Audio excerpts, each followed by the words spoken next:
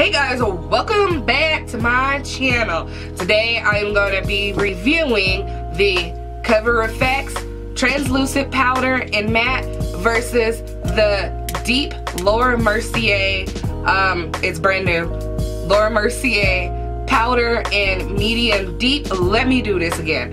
I'm going to be reviewing the translucent medium deep Laura Mercier powder. Now, I've already got it on. On this side is the Laura Mercier, and this side is the Cover FX. They both come in matte, so if you guys want to know the details and specs of these two products, you know what you got to do. You got to subscribe, and you got to keep on watching.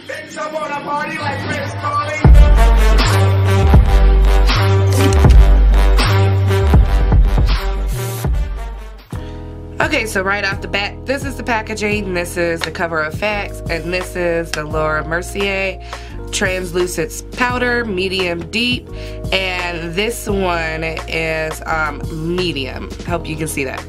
Try and get the glare off there. So this is in medium. Cover FX does not make one in deep. They only go from translucent to medium. And Laura Mercier makes um, now medium deep. So this is what you're gonna get. They both came from Sephora. And I'm gonna go ahead and open it up for you guys. There goes the Laura Mercier one. And here is the, if I can open it. there we go. Here's the Cover FX one. So now you can see the difference in sizes. This one has a little bit more product in it. So I'm letting you guys see it side by side. This one's slightly smaller. This one's a little bit bigger. So now when you open them up, this is what Cover FX looks like so far as their translucent powder right there. And this is what the Laura Mercier one looks like. And I have to take out this tab. Oh, that's handy. Okay, so Cover FX has this lid that opens this way and then you can shut it. So therefore you won't lose any powder when you open it, which is actually pretty handy. So I'm gonna go ahead and open that up again. And right off the bat, boy, I'm just being messy. Right off the bat, you can see the difference in colors. So this one is a little bit lighter. This one is darker. So let's go ahead and um, swap to my face and let's put it on. So I know I look absolutely crazy, but I got my foundation on. Eyebrows are done. Now let's go ahead and I'm taking this Kat Von D concealer and I need a mirror and I'm going to go ahead and conceal underneath my eyes.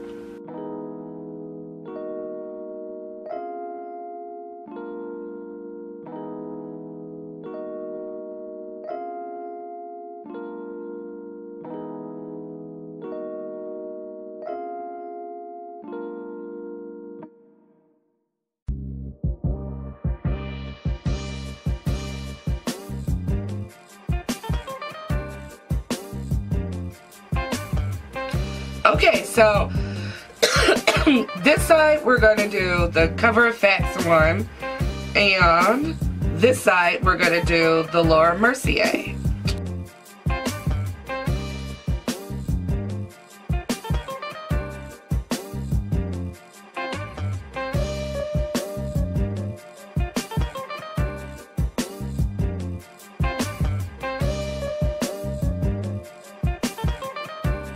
Okay, so now that I've got that done, I'm gonna, obviously, you can see the big difference right here.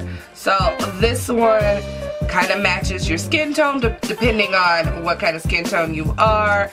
Um, you can most definitely use this just all over the face but if you want to highlight, I would suggest going with the um, Cover FX. I don't know. You guys be the judge. I'm going to finish the rest of my makeup, wipe this off, well, dust it off, and then you guys let me know what you think. Okay, so this is Cover FX, and this is the Deep Laura Mercier powder in Guest.